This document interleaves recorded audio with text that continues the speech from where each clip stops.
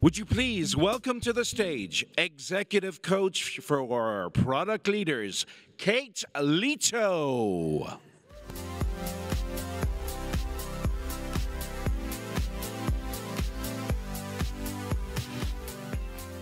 I have to say hi to my mom on the camera because I promised her I would. Hi, my name's Kate Leto. I'm an executive coach. I work with product execs and leaders at organizations of all shapes and sizes all over the world. And for those of you who haven't been part of a coaching engagement yet, I can tell you one of the first questions your coach is going to ask you is what brings you to coaching? You know, what do you want to work on? And as you can imagine, the responses that I get to that question are quite diverse.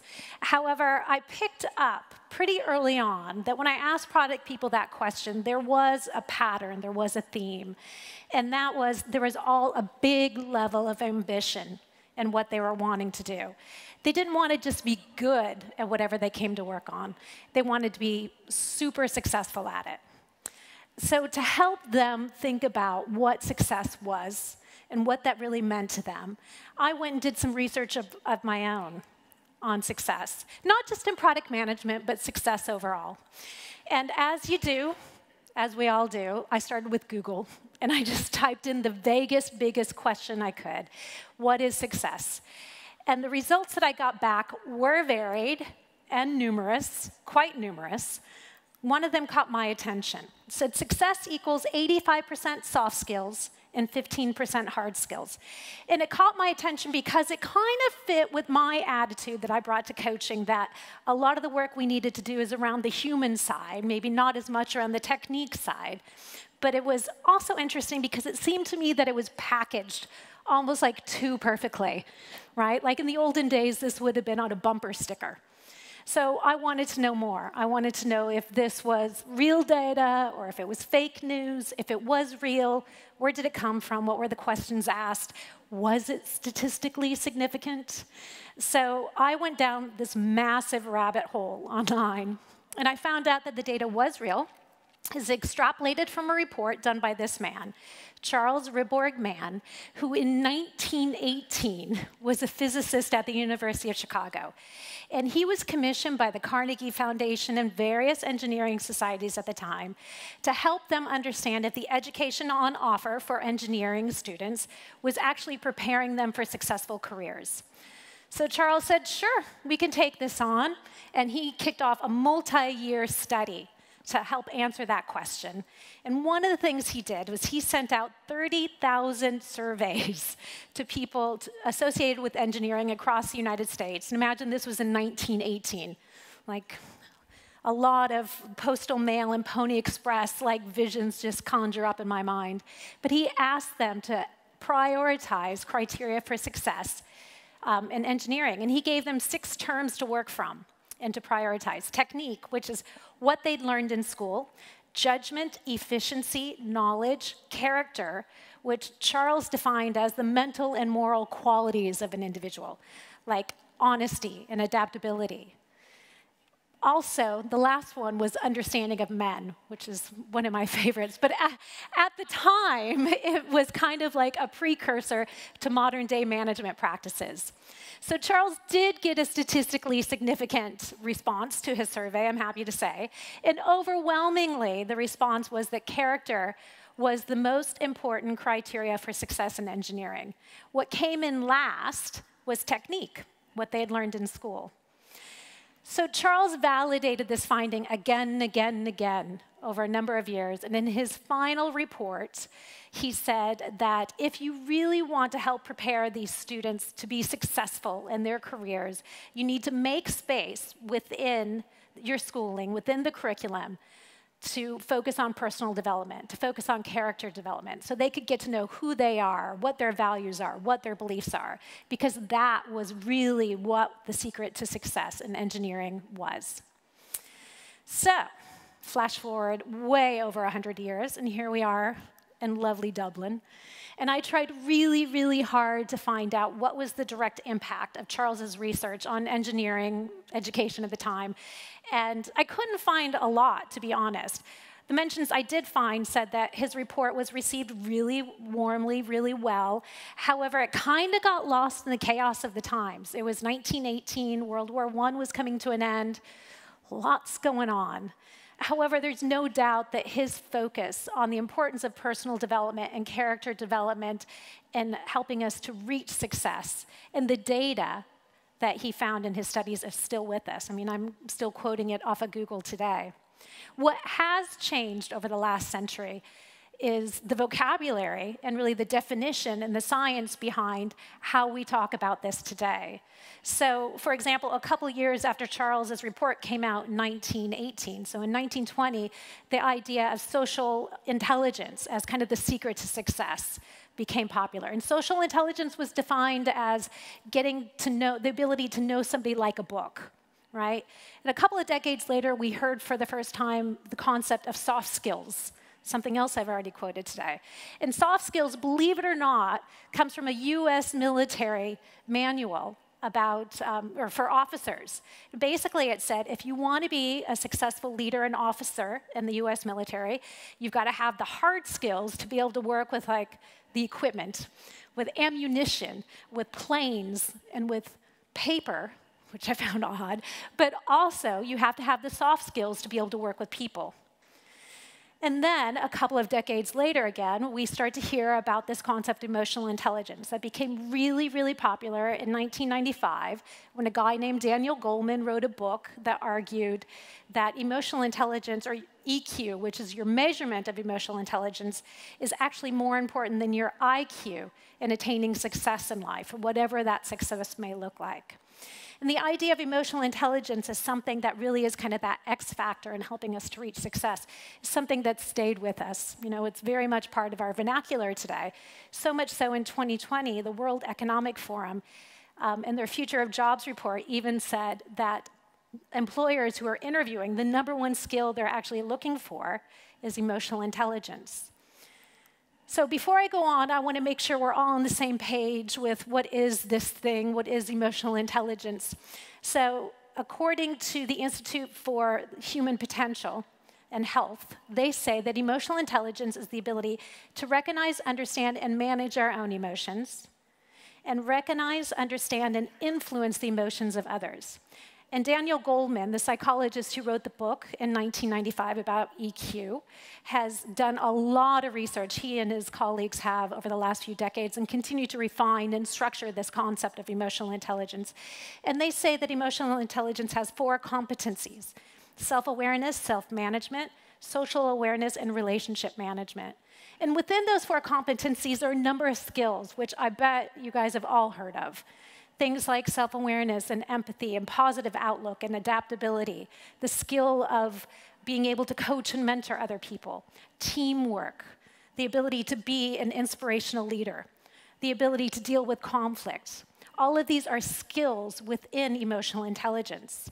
And research does show that individuals and teams and organizations with high levels of emotional intelligence tend to outperform, tend to be more successful than those with lower levels of emotional intelligence. So, for example, individuals with higher levels of emotional intelligence tend to make more money annually than individuals in similar roles with lower levels of emotional intelligence. When this report came out a few years ago, it was about $29,000 more a year. And I have a feeling that number may have actually gone up given the last few years that we've had. In teams with high levels of self awareness, and teams can have self awareness and it can be measured, they tend to coordinate their work better, they make decisions better, and they deal with conflict better. They're higher performing, they're more successful. And organizations with high levels of empathy tend to outperform financially organizations with lower levels of empathy. So, all in all, like lots of good stuff, lots of benefits from emotional intelligence and really focusing on it. But here's the, here's the thing when I look around our product community, which I've been a part of for over 25 years now, what I see is our focus remains very much what Charles warned us about. It's very much on our technique, it's very much on our functional skills. We talk a lot about roadmaps, which are, you know, it's great, but we talk a lot about roadmaps. We talk a lot about A B testing, multivariate testing, MVPs, OKRs. Oh my God, we could talk for years about OKRs. And I think we probably already have. And it's not that this is bad, because all of these functional skills, our technique is the basis of what we do, right? It's the foundation of our discipline that's bringing us all together today, which is awesome. However, it means that we don't focus as much, we don't give enough space for how we do the work. And that's where emotional intelligence really comes in. And when you think about it, the two are already very intertwined. So if you want to build a roadmap, it's not just about what software you're using, what cadence you're going to update, how you're going to communicate, communicate it, all of those great things. It's also about having the emotional intelligence to carry it out. You got to have the self-awareness to be able to raise your hand and say, well, maybe the thing I'm pressing for and driving for on this roadmap is out of my own best interest, not the best interest of my team or my organization. You got to have the conflict resolution skills to deal with the tension and conflict that comes up when you're putting together a roadmap, because there's always going to be some tension involved. You've got to have the inspirational leadership skills to be able to bring your challenging stakeholders and bring your team along with you and what you think the vision of this roadmap should be. Even when it comes to hiring, how we carry ourselves, how we think of ourselves. Our emotional intelligence plays a huge factor. I wrote a book about emotional intelligence in hiring. And everything from the way that we think about the job description to the way that we, um, the questions that we pick out for the interview to how we consider the candidate's performance in their interview is impacted by our emotional intelligence and the candidate's emotional intelligence. There's a lot going on there. So with all of that in mind, I think as a community, it's time for us really to reframe our narrative around what is success in product management. Learn the lesson that Charles was trying to, Charles was trying to teach all of us over 100 years ago, and make space within all of this talk about our technique and functional skills for how we do the work, and to make space for how we develop and grow our emotional intelligence. And the good thing is, is you can do it. Um, that's often one of the first questions I'm asked is emotional intelligence, is that something you can grow? And yes, you can. Um, it does take a lot of discipline and commitment, though. You've got to be ready to do it, and you've got to really want to do it. And when you are ready, I'd say the first place to start, the first skill to get going on, is, is self-awareness. Why self-awareness? Well, it really is kind of a, it's a foundational skill right, for everything else that's going on in emotional intelligence. And according to uh, Tasha Eurich, who's the author of this great book called Insight, it's kind of a self-awareness is kind of the meta skill of our time. According to Eurich, there's two types of self-awareness. There's internal self-awareness and there's external self-awareness. Internal self-awareness is I think the one that we're all really familiar with, the ability to see ourselves clearly external self awareness is, is how others see us and how we fit into the world around us. And the goal when you're working on building your self awareness is to focus on both of these and really have them in balance. Because when they do, it shows up in your work every day as product people. It shows up in how you make decisions because you're going to know what your motivations are and where they're coming from. It shows up in your overall approach to work because you're going to know your strengths and you're going to know your weaknesses and you're going to know how to work with both. It shows up in how you lead because you're going to be able to show and portray your convictions, but you're also going to be able to be humble and curious and bring that into your work. And it shows up in how you learn because we, with self awareness, we can build this great skill of reflection and have the ability to take a step back and think like, okay, maybe the thing I did there isn't what I really want to do next time. It gives you the muscle to do that. So, I can only imagine your response is what many of my clients is when I start talking about self-awareness. Yep, I already got it. I am a self-aware person. No need to continue on. Um, well, you're not alone if you do think that. So Eurich, whose book I was showing just a minute ago, Insight, did a lot of research for her, for her publication. And she found out that, well, 95% of people that they interviewed thought they were self-aware. The number was really more around 10 to 15%. Another organization called the Hay Group interviewed 17,000 people around the world. um, and found that about 19% of those, 19% of, let me start that again. 19% of women who they interviewed met the criteria for self awareness, and about 4% of men did. So, once again, we all have some work to do. So, what I'm going to share with you now are three ways that you can start to build your self awareness. I call this the trilogy of self awareness it's know thyself, accept thyself, and improve thyself. So, we're going to start with know thyself. So, and you'll notice that know thyself and accept thyself really kind of feed directly into internal self awareness and external self awareness. First way to get going with know thyself is practicing self reflection. So, no big surprise with this, really, right? Um, when I did my research for my book, I actually found an interesting study that said that a daily habit of self reflection can boost your performance by 23%. So, why not give it a go? We're not talking about hours sitting and journaling about what you've done and why you did it. We're talking about taking five, ten minutes in the morning, maybe five, ten minutes in the evening, whatever works for you. Maybe it's on your commute, maybe it's um, at home before you open your home office door, taking pen and paper and writing the response to a couple of questions, really simple questions. What do you want to accomplish today? What are you worried about today? Maybe at the end of the day, what worked well? What do you want to do differently tomorrow? What are you grateful for from today? Bring gratitude into the conversation and thinking as well. You'll notice with all of those, they start with what, right? There's not a why question in sight. Why? Well, why, asking ourselves why in many ways is extremely ineffective. Um, if we knew why we did something or why we didn't do something, there's a chance we wouldn't have done it in the first place, right? But also, when you sit back and actually ask yourself and challenge yourself with why, our brains are just not in that kind of objective place where they can properly positively respond. Instead, it kind of sends us on some really negative thought patterns that we just don't want to go into. So focus on what questions, what creates, creates space and future, future focus. One more thing about self reflection before I move on, and that is you don't want to overload, right? Because when you do, when you become kind of that person that is so um, so in tune and so focused on journaling, on keeping track of what you're doing and how you're feeling, you can actually go too far and you can go too inside, too internal. You need to be able to lift yourself up, identify some patterns, maybe share it with a partner or a team member or a colleague or a coach. Um, and just kind of take note of the high level data that you're finding out.